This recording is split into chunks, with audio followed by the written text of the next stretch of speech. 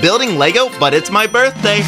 I first grab this piece and some red parts, build four of these corners, and add green stripes. I place down a top, and we got this birthday gift. Next, I grab this hinge, extend it on both sides, while also adding plates on the bottom. I double the size and bend it like this. I add some side frosting, use these parts for sprinkles, and I can't forget the candle, which I wrap with rubber bands. And we got this birthday cake. Next, I grab this Travis brick and a buttload of dark turquoise, and I build this little point. I add these parts to it, attach some plates to the sides, until we got this larger cone. I then build this section, which doubles its size. I add orange studs all over, and attach a string piece inside, and we got this Lego birthday hat. Which Lego build is your favorite?